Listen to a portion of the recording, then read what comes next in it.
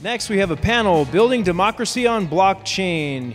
Your moderator, Rachel Wolfson, blockchain journalist for Forbes and the Merkle, the Entrepreneur Magazine's influential women in blockchain. Please welcome Rachel. Panelist, Dimitris Vassiliadis, lead business and product development at EXUS, text expert evaluator at EU Commission. Please welcome Dimitris. Johanna Maska, CEO of Global Situation Room Incorporated, ex head of White House Press Advance for President Barack Obama. Please welcome Johanna. Mark Blick, head of government and blockchain technology at Diginex. Please welcome Mark. Herb Stephens, Silicon Valley entrepreneur, co founder and treasurer at Democracy Earth Foundation. Please welcome Herb and Dmitry Matskevich, CEO and co-founder of dBrain, listed in the 100 people to watch in the chatbot space by VentureBeat. Thank you. Enjoy the panel. Thank you. Hi, everyone. Thanks for joining our panel, and I hope you all are all enjoying Vegas. This is a great conference so far, and there's lots of great people here to meet. So glad to see you all here. Um, today, we're going to be talking about building democracy on the blockchain. Um, so it should be a very interesting discussion. And um, like they, they said, I'm Rachel Wolfson, I'm with Forbes, and uh, these are our great panelists, and I'll let them just briefly introduce themselves um, before we get started. Yeah. Okay, hi everybody, great to be here. I'm Dimitris Vassiliadis. I work for Exus, where I lead uh, product and business development uh, using artificial intelligence and blockchain to reinvent the debt collection and loan, origination industries. Um, on a second note, I'm CEO and co-founder of Giving Streets, a startup that aims at bridging the cashless divide, started off in London and expanding to the rest of the world. And thirdly, I'm an expert advisor to the European Commission, evaluating ideas and new technological trends. Thank you. I'm Johanna Maska, CEO of Global Situation Room. Uh, we are a firm, a consulting firm that works on global good, global trade, and global risk. Um, before that, I worked with President Obama. I was his director press advance and traveled with him for uh, eight years to 42 countries.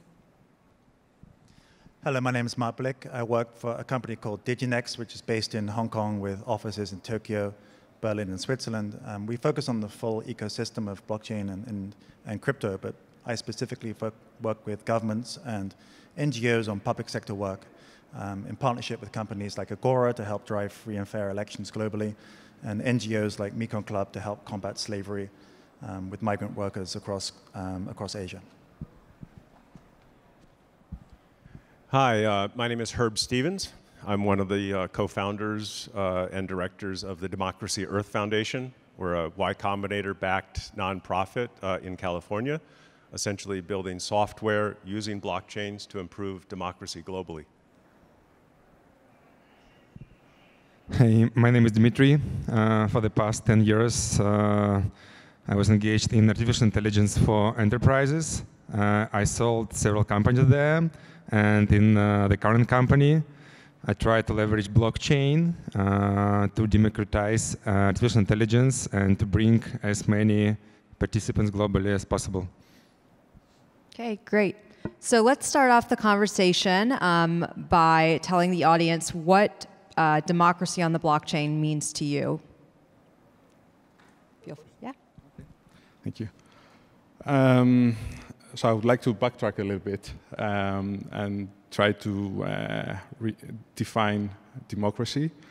Um, I'm happy of my Greek heritage in that sense, uh, in the sense that uh, democracy comes from two Greek words, demos, that is public, and kras, uh, kratia, krasi, that is power, essentially meaning power to the people.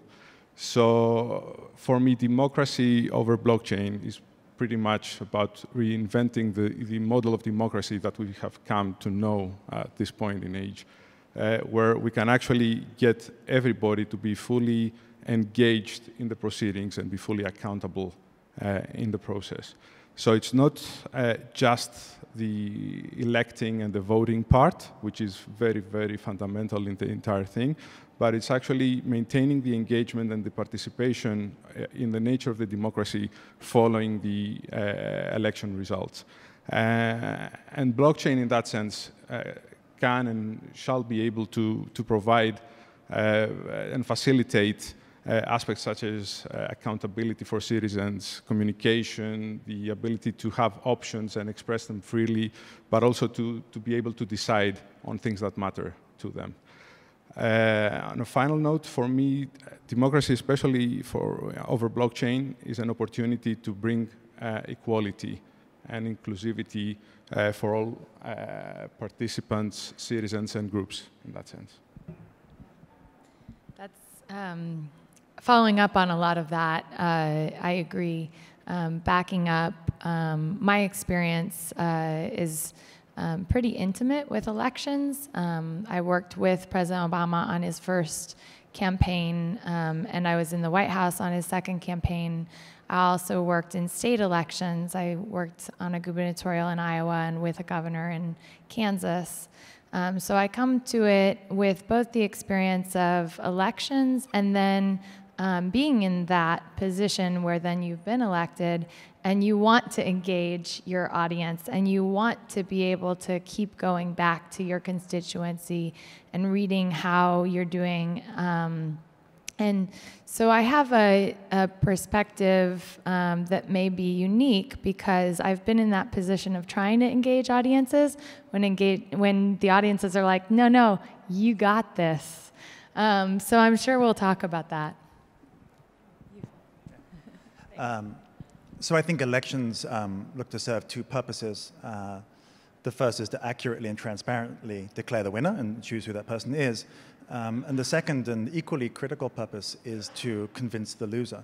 Um, and to the extent that an electoral process um, is not uh, uh, transparent and independently verifiable, it fails in that purpose. Um, I think that many of the conversations we've had across the world with policymakers, regula um, regulators, and, and governments for the most part, there's a big desire to infuse the sense of trust back into the electoral process, which may have declined in, in let's say, the last decade, certainly.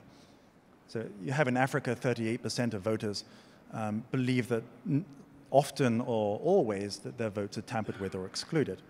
And that sense of less loss of trust in the electoral process leads to a declination of voter participation. Um, in the UK, in the last three elections, general elections, the voter turnout has been at the lowest point since the 1930s. And then coupled with voter participation, you have a sense of voter apathy.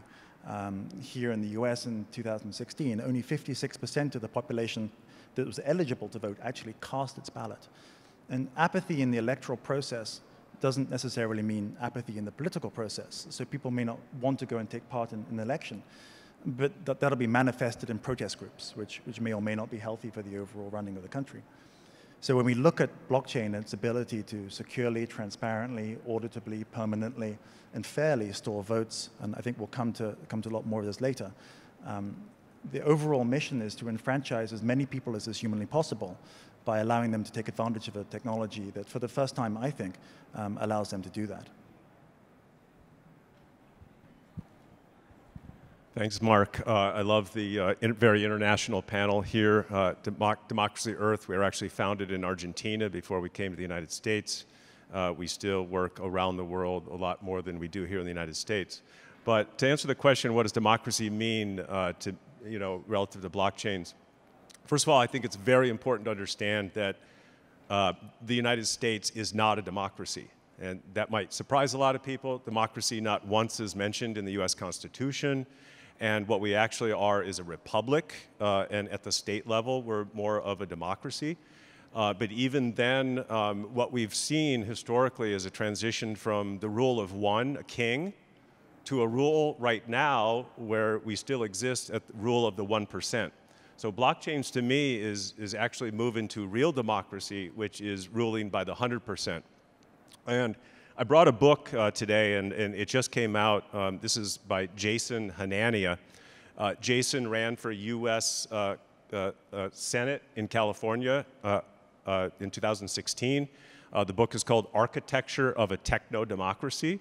And essentially, what he lays out is how do we get from where we are now to a true democracy. And the bottom line there is accountability. And as an ex auditor with GE for a number of years, for me, blockchains are about that. It's the accountability. The four things that you need for a democracy, he describes, Jason, as CODA communications, uh, uh, uh, um, uh, options, decisions, and accountability. And I would argue that we don't have those, any of those today without blockchains, so therefore we don't have a democracy. Thanks. Um, yeah, uh, in our company we think a lot about that issue, uh, and I want to bring like even like more higher level understanding what is democracy, because we see that uh, democracy is then no any one stakeholder have too much power. So it's not uh, it's not just about uh, like country level. It can happen on like industry level, company level, uh, your neighborhood level. So whenever some uh, entity or some stakeholder gonna accumulate too much power, that power gonna be abused, and it happens like everywhere. So democracy is uh, uh, kind of constraints which ensure that minority, those who have less resources, uh, less assets, less control, have the same uh, right, the same inclusion. And there is so many dimensions. And uh, we in particular in our company, we are focused on how to bring that inclusion to global workforce. Because, for example, in different regions like Nigeria, etc., uh, people can have less access to the global uh, financial market or global work opportunities, not just because some like the totalitarian regime or any other adversaries.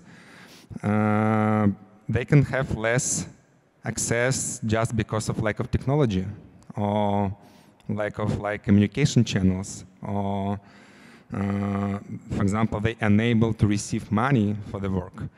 So um, I think that like on a high level, democracy is um, the ability to give that, to distribute that power uh, from majority to minority. So everybody have like the same access to resources, to rights, and to like every opportunity possible.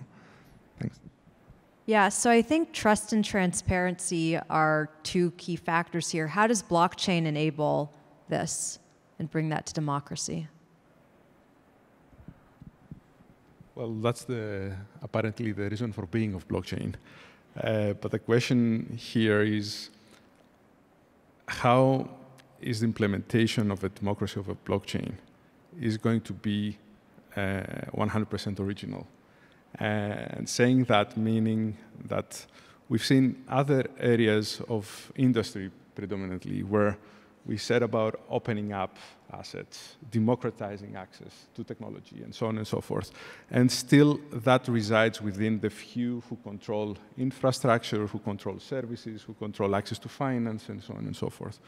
So the main thing here is how can we get blockchain to truly become a, a tool uh, for the people and run by the people. Uh, and reaching to something that might uh, sound a bit radical because we know the technology is not that ready yet, not that mature yet. Um, but going to, to, to, an environment where things are 100% peer-to-peer.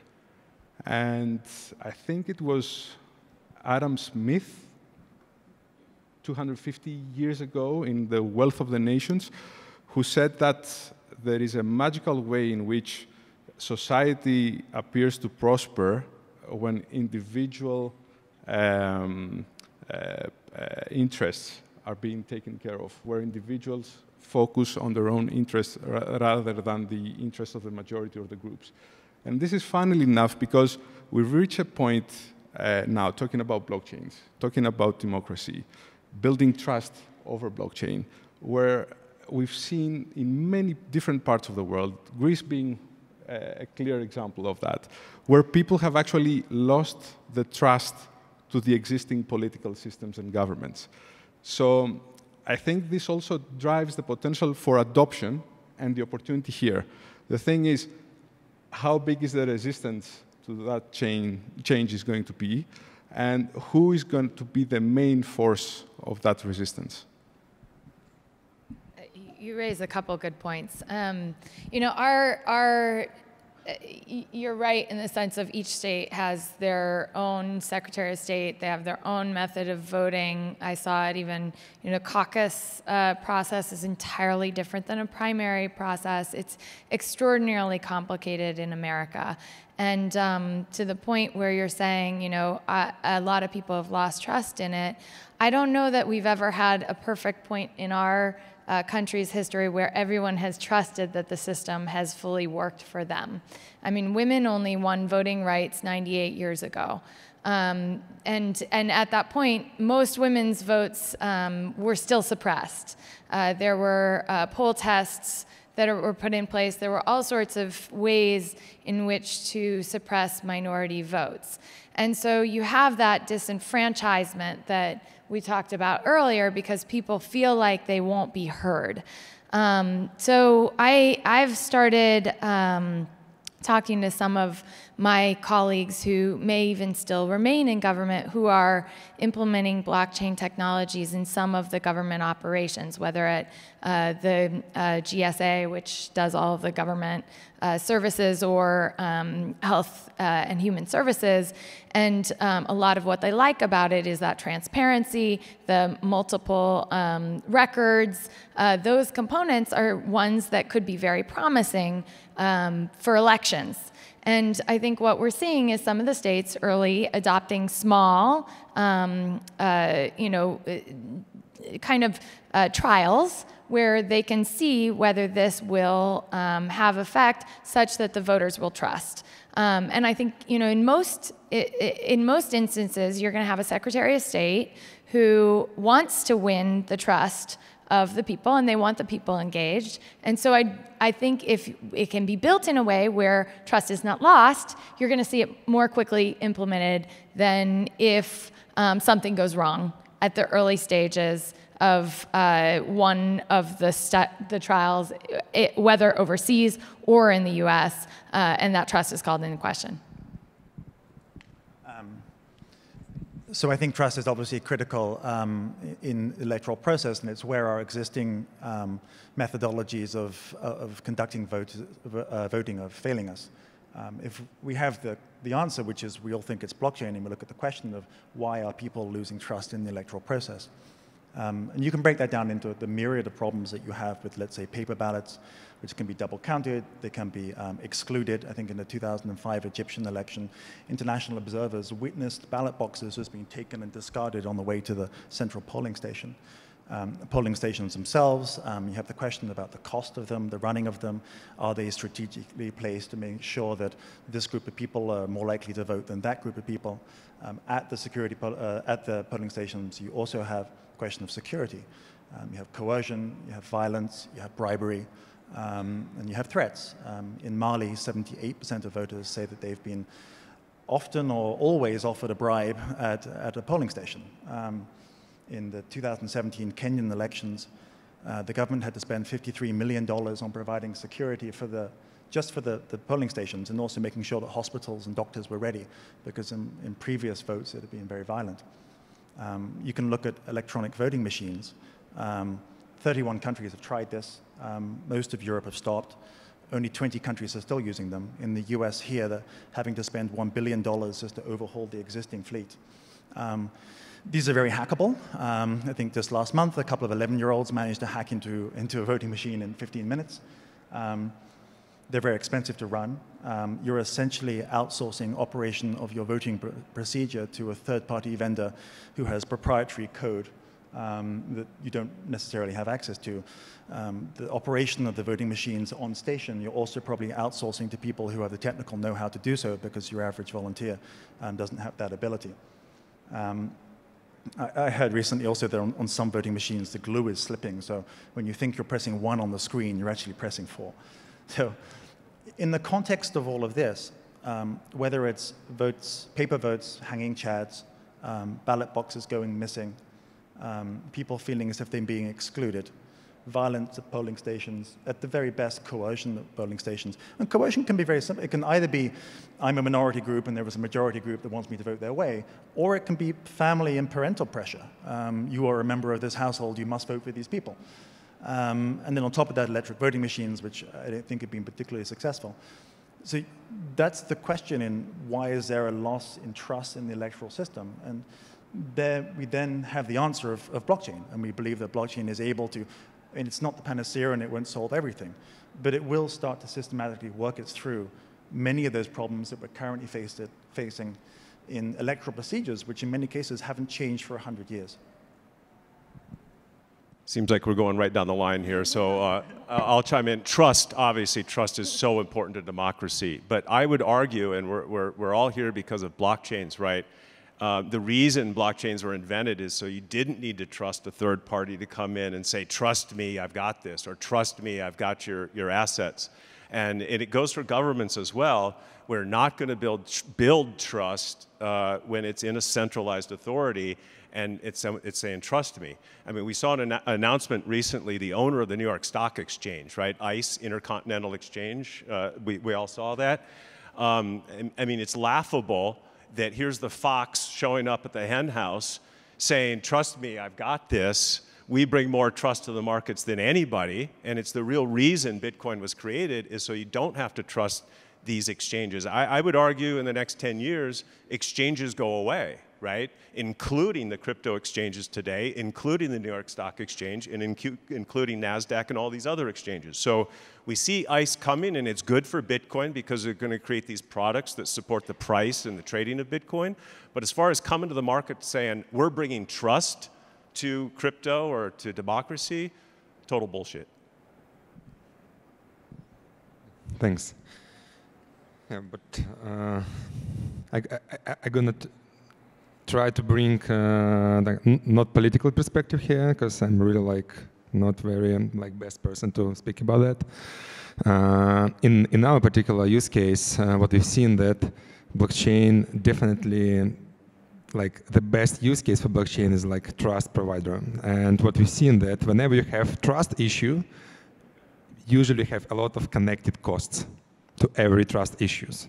So uh, uh, the motivation to eliminate those trust issues like very straightforward. So for example, uh, you need uh, some job, uh, like some work being done, and you try to find any particular like freelance, uh, whatsoever, you don't believe him, you try to research, make background check, develop some SLA, and you're going to spend a lot of uh, uh bucks uh, for lawyers, etc., etc. And the more you distrust to each other, the more those costs going to be accumulated. So uh, it's it's funny, but democracy here it's like equal less cost because whenever you're gonna have like authority which gonna control uh, that uh, like transactions, that's gonna control that work being done correctly, etc., uh, you're gonna have more and more and more costs uh, spending to that structure, and uh, vice versa.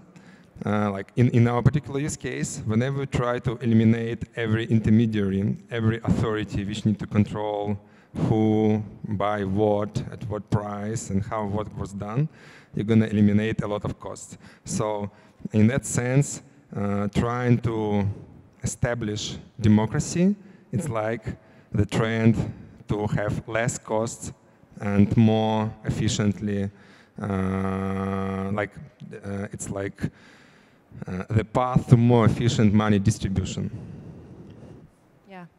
Um, let's focus a bit on blockchain-based voting systems now. Um, I know there are a few countries already testing this, like Russia and Crypto Valley, and even West Virginia now. It was just announced that they're testing a blockchain-based voting system. Um, so where do you guys think that this can actually have the most impact in terms of regions, and why? I'm happy to go first on that. Um, I think it this is multi-layered, and it really depends on the question you're looking to solve for. Um, I tend to think blockchain is a solution to all problems, but if it's a cost perspective, um, you look at somewhere like the UK, which spent 15% of its $140 billion general election budget on just training volunteers for the polling stations. Um, if it's a security question, like we've seen in places in Africa, that has tremendous impact. Um, if it's a logistical question, so last year's India election took one month and nine rounds of security forces going around the country to location to location because they were the only team who were really able to do it. In the 2014 Ukrainian election, it took 15 days from the end of polling to the announcement because of the, the, the tabulation process was just that long. Um, if it's a question around technological security, and there have been questions in this country around that, then that, that's a different question too. So I think the, the impact is multi-layered and it's in many places. Um, I think the transparency that it brings to all governments is, is impactful for all. I think in, in those places where, um, I mean, the there are many democracies in the world. Um, I think there are 60 which can be categorized as authoritarian democracies. So they realize that there's, from an international perspective, an importance of having an election, but they have a vested interest in making sure they get the result that they want. Um, so I think in, in those situations where you can build a trustless mechanism for allowing all members of society to have a vote um, that won't be coerced, um, that is economically affordable. Uh, to go back to your, your, your coda, um, I had that the five criteria which should be minimally, minimally met for, for an election, transparency. So everybody um, should understand right from the beginning to the end what the process is. And having come up with a result, it has to be independently verifiable and auditable. Um, needs to be privacy. So um, each voter's choice has to remain private both during the election and after the election. It needs to have integrity. Um, only those people eligible to vote should be allowed to do so. And having voted, um, they shouldn't be open for alteration or exclusion. It should be affordable um, for both the, the government, the political parties, and the, and the participants in the election. And it should be accessible to all. Um, and anybody who's eligible to, to vote should be given reasonable access to polling stations or on their mobile phones or, or at home on their computers, whether they're from minority groups, live in rural mountainous regions, or, or disabled. So I think um, where it can be most impactful is where it impacts most of those points. Uh, I'll speak on that a little bit. Um, we've worked a lot in Latin America, uh, in Colombia, uh, we're working in Venezuela. Um, I was recently at the Oslo Freedom Forum, um, put on by the Human Rights Foundation. Uh, if you haven't been to the Oslo Freedom Forum, I highly recommend it. Uh, it is sort of a white knuckle tour through the atrocities going on around the world firsthand. Uh, a lot of the stuff they talk about are half of the world that we don't live in democracies. I mean, we're lucky here in the United States, but when we're talking about uh, how blockchains and how democracy can be improved, we have to think about those places where government is basically broken down. Um, or they're fighting so much they'd rather kill each other. Uh, in Colombia, there were three parties to, to, to, the election, the new government, the old government, and FARC. They all wanted to kill each other, so they needed a third party independent person that's going to bring that trust and bring that technology to, to the platform. But let's keep in mind that a, a lot of the times we're not working with governments to provide the election uh, in, in, in infrastructure. We're actually working with the people or the groups that uh, are functioning in place of otherwise functioning governments. So that's why another reason why blockchains are, are so important because you don't have those institutions that are there to provide the democracy and that infrastructure, right? So it has to be mobile based, it has to be blockchain based, and it has to be uh, uh, something otherwise provided you know, not by the government. Right, and what about in terms of security vul vulnerabilities? Um, how does that tie into all of this? I can talk to that a little bit more, just, just quickly. Uh, I, I, think uh, as we've seen and as we're going to continue to see, that corruption exists at centralized databases. We're moving from a world where we have corruptible databases, and if, if you're a technologist and you understand databases, there are four basic functions, actions to a database. It's, it, the acronym is CRUD for another, for another acronym. Uh, create, read, update, and delete in the blockchain world, you get rid of the uh, update and delete, and you only have create and read. So we're literally moving from a corruptible world to an incorruptible world. So relative to, and I think we've seen it with none of the blockchains being hacked, while most elections and a lot of the centralized databases are being hacked. Yeah. So in that sense, to, and to build on top of what Herb just said, um, that, that, question reminds me of something that uh, a professor of mine uh, told the class like 20 years ago when we were talking about security of networks and communications. So he said, if it's built by humans, it can be broken down by humans. So eventually, you can only build that much uh, trust and security into the system. Um, and there is, uh, that, that's an, a never-ending struggle eventually. Uh, the solution to that and to make it as difficult for it to become yet another corruptible, let's say, solution is to decentralize as much as possible. The greater the degree of uh, decentralization, the greater, the, greater the uh, secure, let's say, result and operation of the, of the platform eventually. Yeah. And I would say, um, in terms of security, there's again, it's multifaceted. So even you, what you were talking about is you can be coerced in person by someone. You know, so if you're a blockchain company and you're going in to do an election in, um, you know, a country that you may not be able to trust, and now you've got uh, people being uh, told at home because they're voting at home um, to vote for someone, and then the entire thing is called into question because of uh, problems that don't even have to do with your technology. That's going to actually be a risk for your company and for the continuation of um, blockchain technologies being built into uh, democratic systems. Um, and so I think that when we think about the technology, we need to think farther than the technology in terms of the improvements to the system that we need to make to ensure that privacy and to ensure every person is able to vote and vote once who's eligible.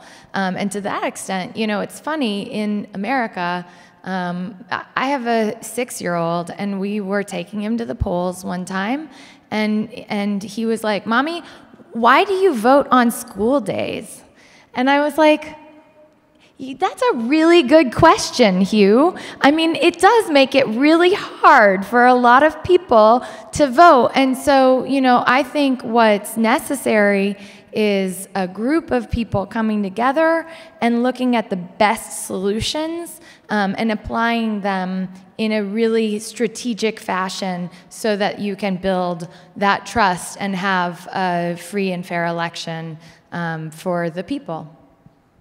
Right. Okay, great. So I think we have a few minutes actually for a bit of a Q&A. If anybody has any questions out there, we'll toss you this box. Um, go for it. Okay. Great throw. that, was a, that, was a, good one. um, so the, you're talking a little bit about the Virginia incident. Um, they're doing some testing and voting. So there has actually got a lot of negative PR um, in terms of some security issues with the company involved with it. Uh, do you think that's a, is a technology ready right now for you know blockchain-enabled voting, or is this just a case of political climate and people getting their opinions of blockchain uh, mixed up in this whole discussion? Well, I'll just say two things. Um, you know, I think there's a lot of questions uh, about blockchain. We were talking earlier about, especially when cryptocurrency is thrown into the equation, or they know it has anything to do with cryptocurrency. And there's a lot of like traditional politicians who will be like, "Whoa, whoa, whoa, whoa, whoa! What are you doing?" Um, and so that has to do with, uh, you know, there's going to be a backlash. Anything new, there's going to be a backlash. But I'm going to be excited and, and eager to follow um, how that election actually goes, because we were talking about it backstage. And if it goes well, actually, West Virginia could be a really great test bubble because um, if it works, uh, it's not in a state that um, would necessarily be seen as the most innovative. So it would be good. I mean, I can comment on that a little bit as an observer. Um, I, have read probably everything that you have. Um, as far as I understand, it was a very limited um, trial looking at overseas military uh, folks who were looking to vote. Um, it was very controlled. I think there's, there's one guy in particular who appears in all the articles questioning the security aspect. Um, I think that's based on um, the potential security threat that this would have rather than on any knowledge that anything went wrong in this instance. I think again, if you look at what the, what the question is, in the 2016 election, there were 19,000 overseas votes that weren't counted. Um, over half of them were because it was, they were submitted too late. So if we're trying to solve that question of how do you enfranchise people who, I don't know, maybe in a submarine at the time of polling, um, or just maybe far away from a US consulate, how do you solve for that? Um, as far as I'm aware, and this is just based on my online reading, the, the pilot was successful. Of course, there is still questions on security um, around if you're using mobile devices and then who controls the technology of those mobile devices and how secure are they. Um, be, if you've got any articles you can share that show there were specific problems with this case, I'd, I'd, be very happy to read them because it's very interesting. And I agree on your point, it's, it's a wonderful test case. And I think they were planning to, in stage process, continue this rollout across um, more of West Virginia. I'll make one comment, uh, and that's that we're early.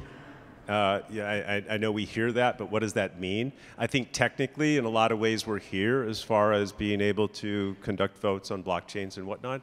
But when you look at a lot of the democratic processes, in San Francisco, for example, they're using technology that is proprietary. They had a 10 year contract. They've kicked the can down the road three or four years. And so it's just a decision making process, and that's going to take a couple of years. Just a city of San Francisco, I mean, if you think about the heart of Silicon Valley, and they should be one of the fastest to implement this type of stuff, even there, it's going to take a couple of years just to get through the the, let's call it the democratic uh, local process. But uh, I, I, think that, again, we're going to see, depending on jurisdiction, faster implementations. We're not really waiting on technology too much, but we're going to see places where democracy and, and is, is really needed.